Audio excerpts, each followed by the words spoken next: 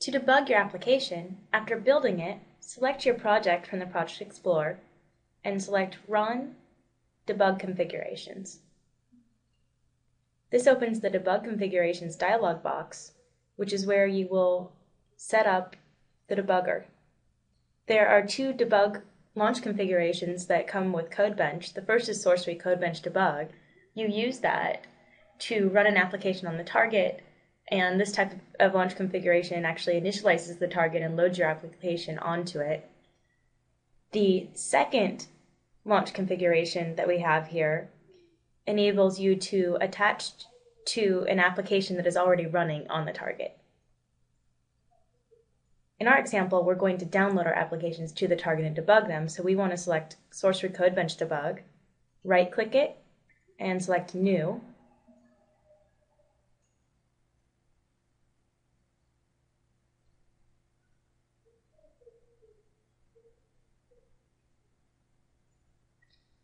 And this gives you a new debug configuration. You can change the name. By default, it's your project name and then debug. You want to make sure that the project is set to the name of your project. If it wasn't, you could browse. If you wanted to switch projects, you could browse as well to switch projects.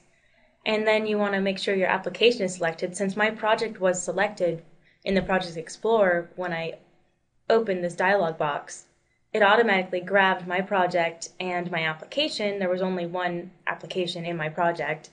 If I had a project with multiple applications, I could select search project and it would show me all the available binaries and I can select the one I wanted to debug against.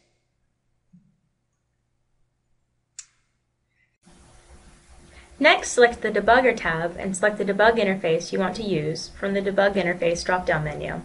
The different debug interfaces are discussed in detail in the CodeBench documentation. The choices that you see depend on which debug launch configuration you've selected. Some debug interfaces require you to configure additional options.